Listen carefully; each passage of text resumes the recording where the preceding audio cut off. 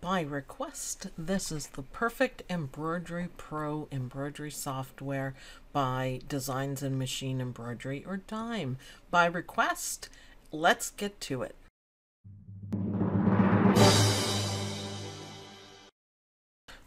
Okay, so I've been snooping around in this software and I really like it. Now, I only have the demo version, so I am missing some things that you might have on your software. From what I understand, I have the My Lace Maker that you'd be able to incorporate it in here and switch back and forth you can't do that in the demo version. So if I don't have something or if I can't use something, that's because it's the demo version. So the first thing I do when I get software is I set up things the way I like them. So the first thing you want to do is go to general options right here. And this is where you can set up quite a few things. Inches or metric, default style, so what it's going to default to, what it's going to start to. I'm just going to leave mine on normal. Uh, Floriani thread, because uh, I like it. That's fine. Auto save, I love that. I love that autosave every minute and you can export all your settings and save them so you can use them again so that's handy uh, so machine activate trim okay that's good remove stitches shorter than I think that's really good combine jumps when reading yep frame out so if you don't know what a frame out is that's when you're doing applique the hoop on the machine will come out so it's much easier to reach to do applique. So I like that. That's fine. Set up your grid, which is really nice. I'm going to set mine up one inch by one inch. Um, and I'm not going to put on snap to grid. These are really important. You can start when you left click as a curve point or uh, let's see, Bezier points, which are really cool. We can work on that if you guys don't know how to work with them. They're really nice. Or freehand. So I'm going to leave it at simple draw and I'm going to leave it at straight point. So complex fill, standard, we'll just leave it at standard. Default angle 45 or 0. I'm just going to leave it. I think it's fine. Uh, use single line. Uh, it's just how it shows up differently. I would leave it. I would just leave it standard. Um, auto backdrop panning. No. Highlight selection. I have changed this to pink because I like it and I'm used to it. So that means when you've clicked on something and it is selected, it'll be that color. I like it. Uh, on-screen text typing, show tooltip in input mode, yes. Increase double and bean run thickness in realistic view. I'm going to put that on because I like that. I think that gives you a better, you know, effect of what you can see. Auto close, zoom, and pan tools. I'm not really worried about that. Auto baste. Um, I'm going to leave it on. This is something I rarely use, but it could be handy. Both of my machines, you can do it automatically, so I'm not going to worry about that too much. Okay, let's start going through everything. In the next video, we are going to be able to do a little bit of work. I'm going to encourage everyone to comment and like on this video. Uh, hopefully it gets enough attention and enough people watching so I can do more and maybe eventually get a full copy of the software. We'll see how that goes, but uh, pass it around to anyone that you know and help get the momentum going on this software because I really like using it. Even though I can't stitch anything out, I really, really like the software. Okay, so let's start up here. So, okay, let's do this. Control N.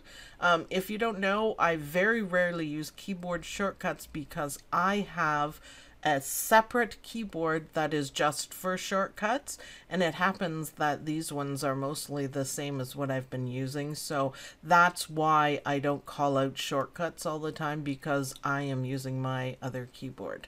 So okay let's do a new one. Oh, if you wanted to change the background, it is right over here. Set background color.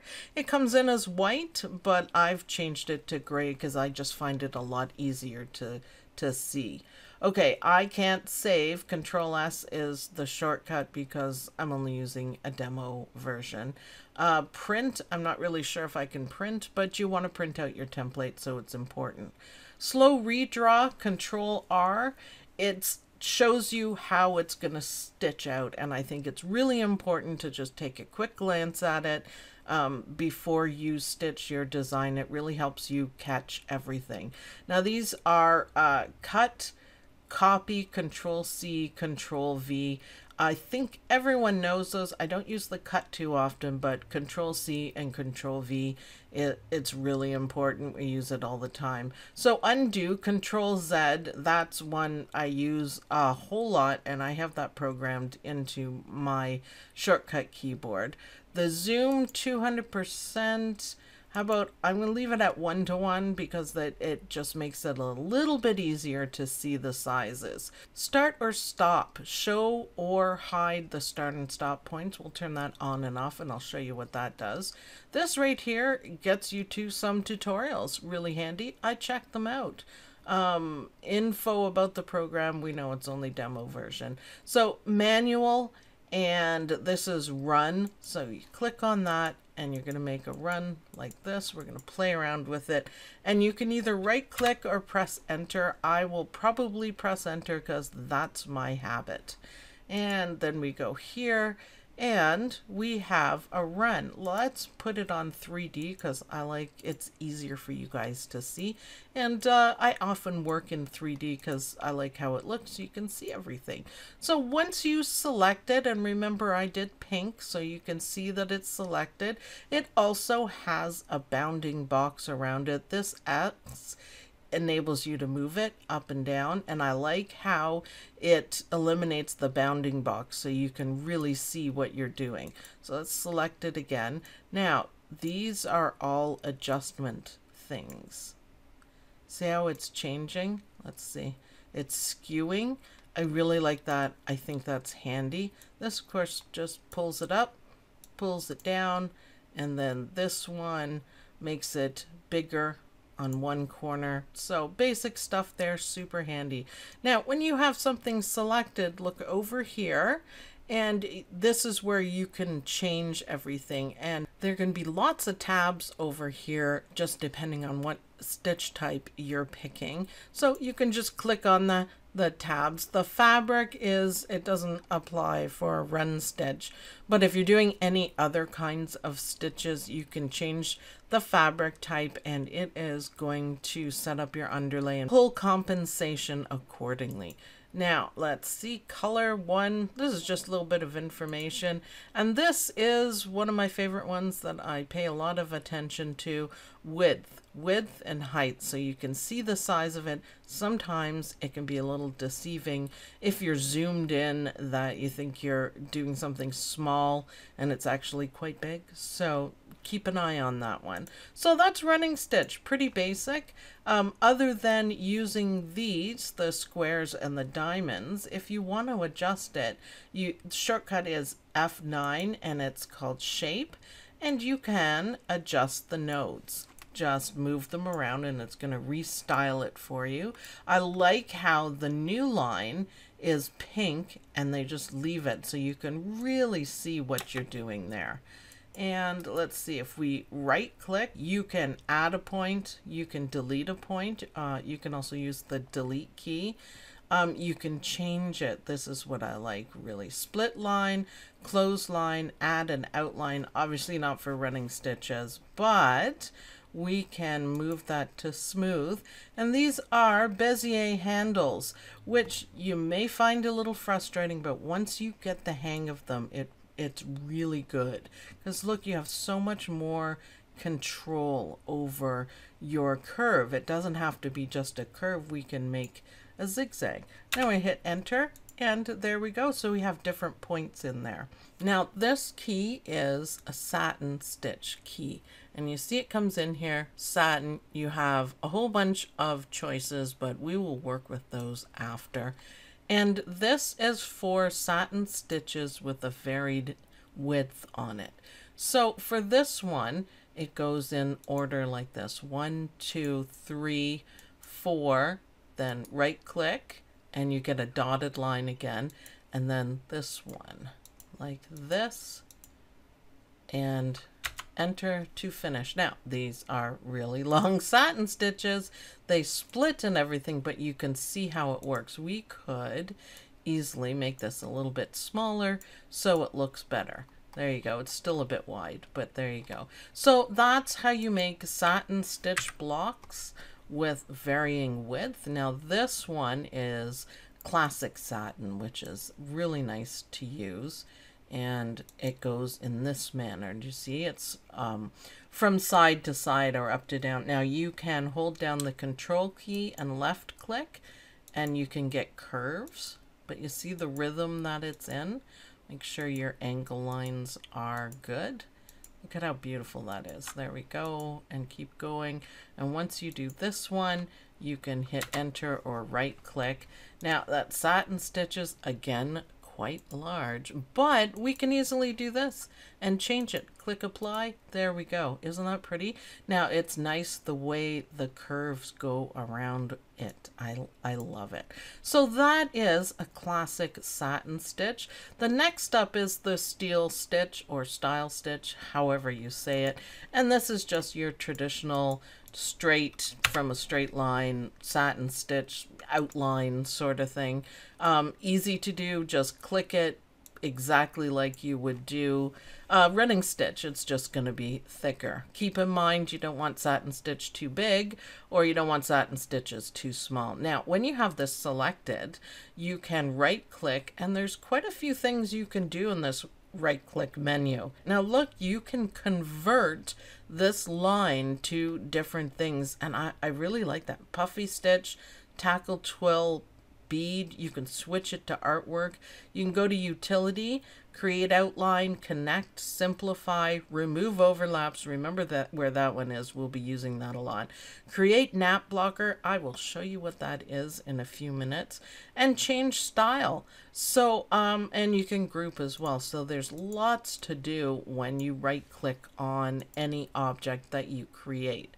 So complex fill. Now this complex fill, it's just basic. You can do a whole lot with it.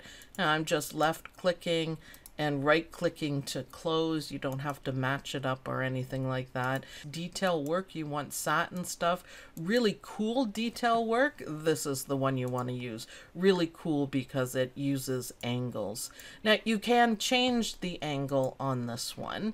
See, it's right here. Now I just, sorry, I just clicked into the, I call it node mode, so I probably will. It's the shape tool.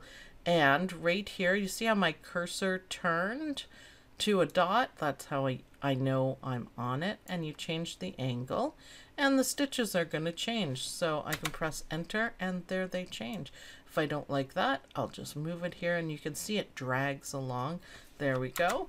And you can see your start point and you can see your stop point.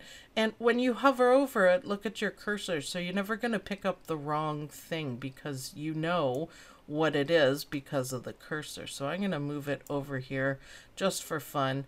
I don't know what the shape is, but it's nice tatami stitches. Now, of course, we can go in and modify everything. You have patterned stitches, which uh, can be really nice. Hit apply. There we go. Isn't that pretty? If you had something large to fill in, if you don't want to use applique, something like this would be great. Click on it again, and we can see our options. So you can change the density. Most of the time, leave it alone, um, but you can change it. Stitch length is pretty much set up. Again, you can change it. You can make the stitch length longer or shorter. Just keep it within what your machine can do. Now this is the underlay. So you can change the underlay and it's really nice because it gives you a picture right here of what you're clicking on. So it sure makes it easy to select it.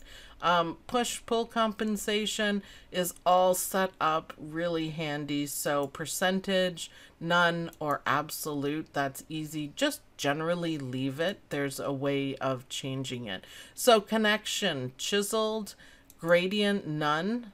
Ooh, we can play with gradients. Let's do a class on gradients. Let me know in the comments if you want to do that. Um, oh, this is color blending.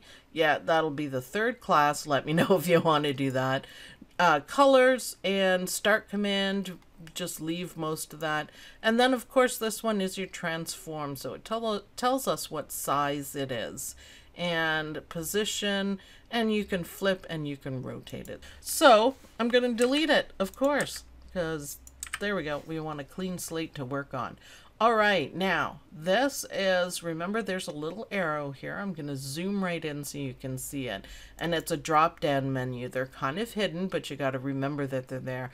I love the little symbols here. So we can do applique, puffy stitch, or tackle twill. Tackle twill is a commercial applique, and you've probably seen it on the backs of jerseys and stuff like that. It's the same as regular applique, except for it does a bit of an offset zigzag stitch.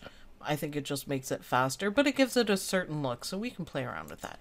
Right here, we can make a shape perfectly, and then we can convert it. So rounded corners, that one's really nice. And then right click, and then we're going to convert it to applique. Dun, dun, dun, dun. Then it's done. Now you have choices here.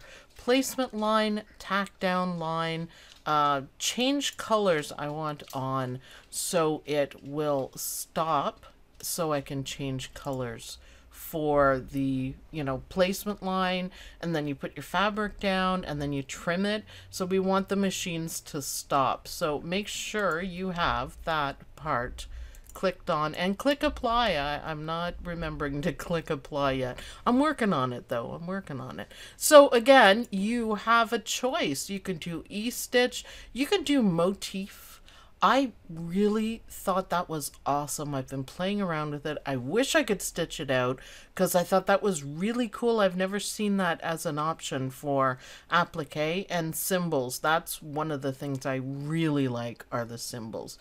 But anyways, we'll go over that. Basic applique, this is what you got. That is cool. Now let's go to Puffy Stitch, which is really neat as well that it's all digitized for you. Let's make a shape like this. How about a bow tie?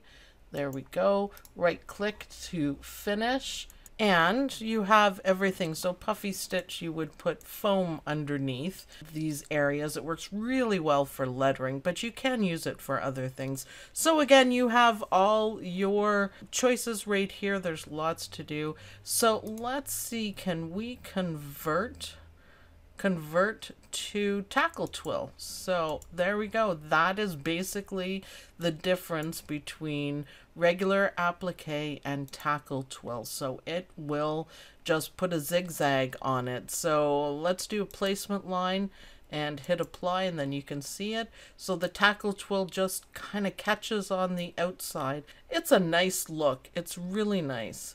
Tack down command stop. Yup so we can do a tack down line too, so which is exactly the same. So that's cool. Those that's those keys. This is just basic stuff that we need to know. Cross stitch. So it's the same sort of thing. You can just make a path and make it cross stitch when you hit enter. Really nicely done. Uh, I like it. I like it. So, okay, let's, what's next? Artwork. So input artwork, we're not going to do that right now, but you can make your own artwork. So the thing with artwork that you have to remember, I'm going to show you, I'm, go I'm left clicking and dragging. You can hit control to constrain it so it's not you know, misshapen like that. So you pull it out and you right click, and if you look that it's just artwork, there are no stitches on this. So it's just a line. There's nothing that's going to stitch out.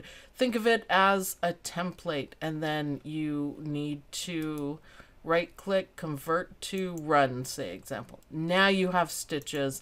Now something will stitch out. So just remember that about the artwork. So the next thing is symbols. I think symbols are really cool. We'll go to select and look at all these. In the manual, they use the ant on a line and I really thought that was cute. There's a bee. There's so many of them I thought it was fantastic. The uh, you can be so creative with this. How about we'll get uh, lips, and then we're going to left click, and it goes down. Let's go here and select it. We're going to make the lips a little bit bigger. They're all completely resizable, keeping in mind that you don't want your satin stitches too long. I'm good on this. Now, if you look over here, there are a whole bunch of options. You could color blend this, which would look really cool. General, just edges. I think the symbols are really cute. Now this is a magic wand. We're going to do that in the next video, the difference between the magic wand and the auto digitizing wizard. We're going to go over that. So right here, let's go. And these are beads. Now I think they look amazing. I think this is really cool to be able to add these in to to see the bling that you're going to use. I think it's so much fun. So we will do that another time as well, but we know it's there and we'll be able to use it. See how the beads work? I'll just show you quickly. Every node that you place down in between, you get the beads. And look at this. Let's zoom right in here. Look how it does it. I think that's really neat. Okay, this one's really cool too. Buttonholes. Look at they have built-in buttonholes. I checked out this one. Bring it in, left click, there it is. Isn't that gorgeous? I, I really like it. I thought, yeah, that sure makes it easy. So button your lips. button your lips. All right. All right. So text, there is so much to do with the text tool. Um, we can talk about it if you guys are interested. I love fonts and I love monogram fonts. The one thing I do want to show you is I clicked on the text tool and I just clicked and you can type. Now these are built-in fonts and there's a difference with them. Let's see, these with the green M are specific monogram fonts. You can use them anywhere, but they're specifically made for monogram fonts. These ones with the yellow M are micro fonts, and I have them in another software, and they are absolutely fantastic and uh, you have to use different thread and a different needle, but they actually really work. You can go as small as three millimeters on a few of them. So just to keep in mind what these are, you can change the height, you can change the spacing, um, you can do true type font, and all the fonts in my computer right here comes in a pop-up. So you can use a true type font and that'll work as well. So there's lots to do and lots to change on it. Optimize colors. I love that. So you can change the order. You can change the type. We are going to go through it um, on another video if you guys want and there's so many things you can do with it. It's fantastic. Monogramming the same thing. We'll do both of those in one video and it'll be awesome. Now, this here, it looks like the same T, um, but it's a catalog. Now, I don't have all of the text catalog, and that's probably because I have a demo, but I have it right here, so we can just take a quick look through. This is the manual, and I thought, oh, okay, that's nice. Okay, little symbols. That's awesome. I really like those. Um, I really like this as well. I'd love to see one of those stitch out. Maybe someone can stitch it out for me. Um, more symbols, flowers and everything, crowns. These are split designs, which is great. These are just simply cute space letters. This is really nice. Santa, Father Christmas there. Uh, this, yes, wow. I, I am interested in seeing that one. I love lettering like that. More symbols. These ones I have been looking for forever. This is one of my favorite things that I've been working with and working on are these uh, intertwined monograms and I think it's really awesome that they have them in here. This is my favorite thing to do in fonts. I think you can make them so pretty and they have a ton of those. So I think that is a fantastic catalog. So it's just uh, ideas. Look at this motif shapes quite a few in there that you can work with to make your own motifs. That is another video. Motifs are really fun. Applique shapes. I look through these and I'm seriously impressed. Like these two bones, how cute is that? Butterfly it just goes on and you just pull them out and then you can make your own applique and you can show your fabric on it. So it's super handy. So, okay, let's keep moving on. Auto digitizing, I'm not too big on auto digitizing. I am interested on seeing how this program stitches it out. I played around with it and it looks pretty good.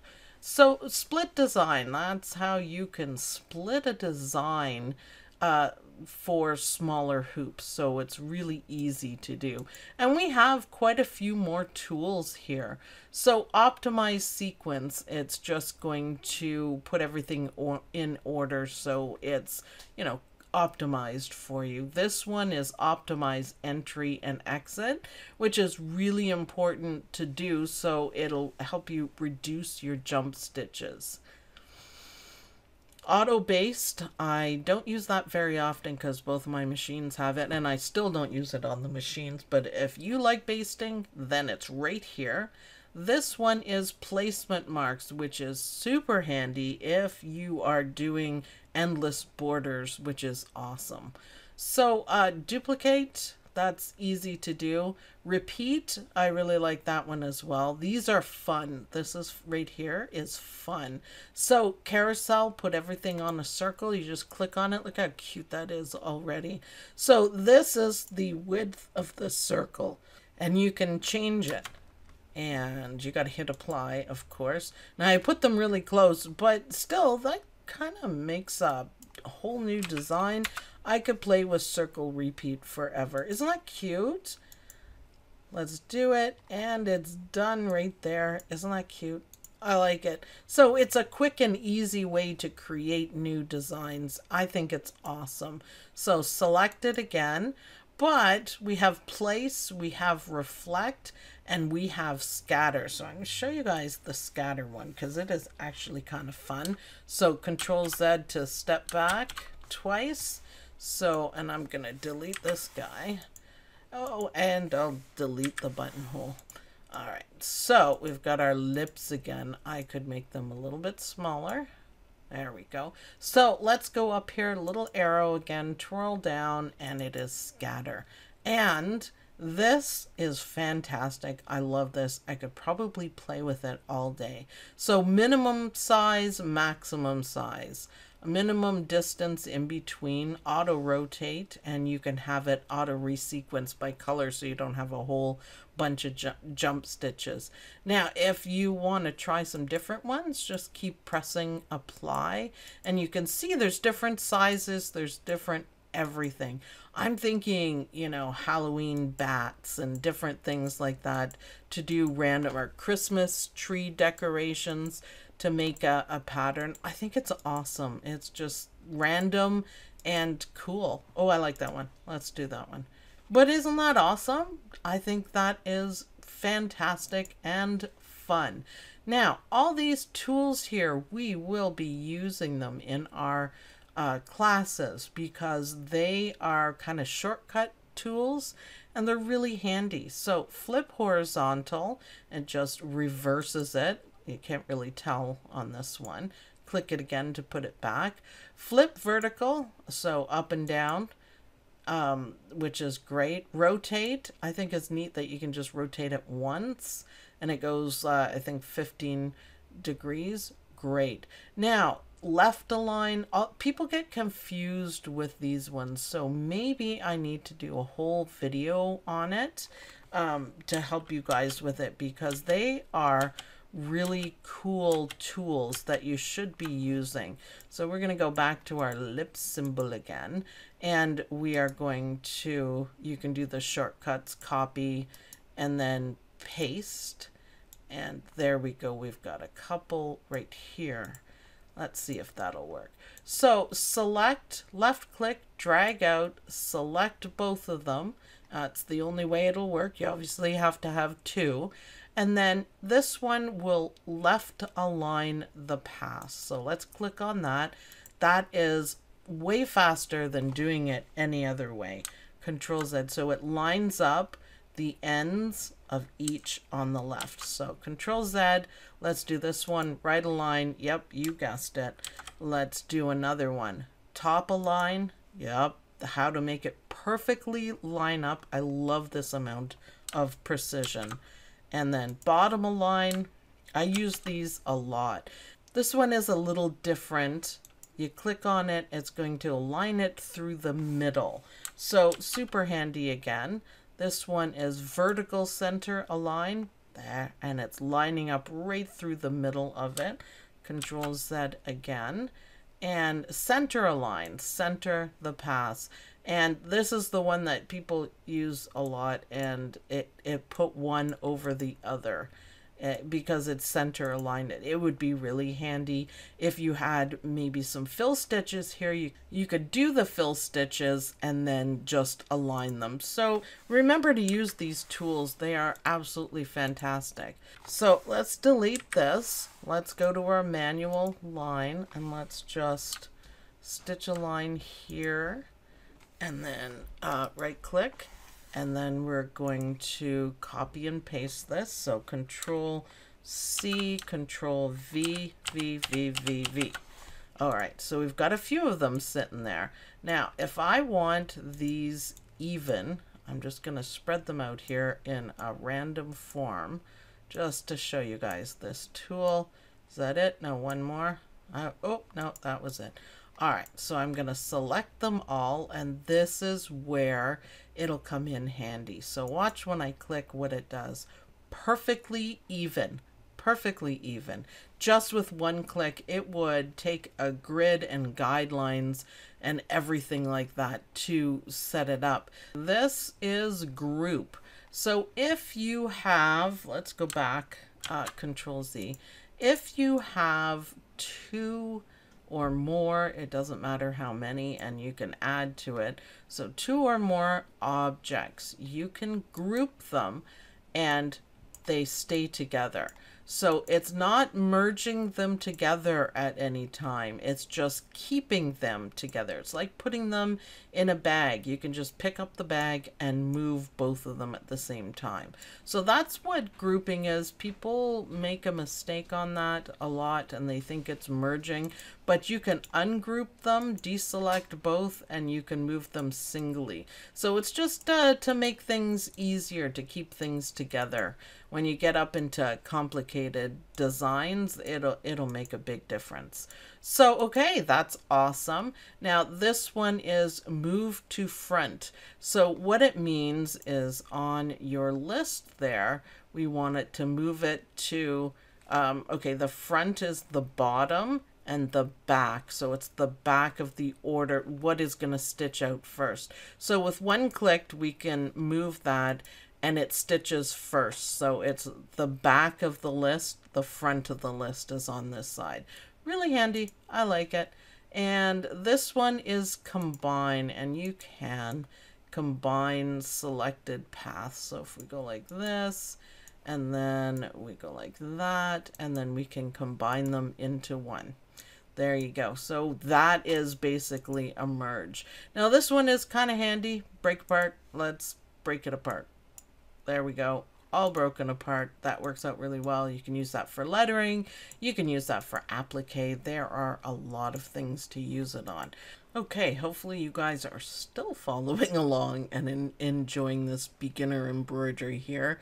Um, I wanted to show you, I always keep the sequence up because I like to know the order of everything. You can see a bigger version of what it is. I find that quite handy as well. But if you go here, you can access your designs to just click and drag in.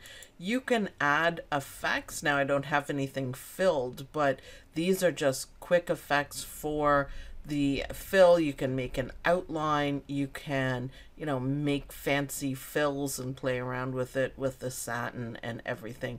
And then Navigator will just give you an overview of your workspace because sometimes you get really big designs and you know you can get lost in it. So let's go over this. I wanted to point out that these are all drop down menus that you can use. These symbols are all up here. So if for some reason you can't find it, if you're missing, you know, the little arrow drop down thing, you can figure it out from here. Tools, edit, file. So, okay, let's talk about this one. So this is, oh, lasso. This is our node mode, F9. Um, super handy, you should use that a lot. This is a slice tool, which is not available until you select it, and it's not available for run stitches. I think it's mostly for artwork, which is fine. Stitch tool, which is kind of cool. Look, you can grab one stitch. Let's zoom in there so we can see this a little bit better. You can select one stitch and move it so it's handy if you have to make, you know, detailed adjustments on it. I think that's super handy. So just another way of selecting it. You can also use the lasso and that didn't work because I lifted up. Okay. So you can see that my pointer changes. So you can see that it's a lasso and I'm just left clicking and dragging it out and you can see it's selected more than one stitch at a time. So handy if you're having trouble selecting things, that's the way to do it. So zoom, pan, which means move around like this, the whole thing, it just pans the desktop up or down or any direction that you want. I think this looks like a comb. I laugh at it all the time, but it's the ruler tool. I always keep that up because it's great for reference. Now, grid, um, usually if you have your grid up, it really helps a lot. I don't always, but it really helps for lining up things. It also rem reminds you um, visually of how big you're working in because I set up my grid to be one inch by one inch. So if you're really zoomed in and you forget that you know this is this area right here is really small. So it kind of helps with you know setting up the sizes and everything. 3d you can turn it on or off. I like it on. Show or hide stitches you're mostly going to leave that on this one is stitch ends, show or hide stitch ends. So it just really depends on what you want to see. Now we can't see too much on this one because I don't have anything going.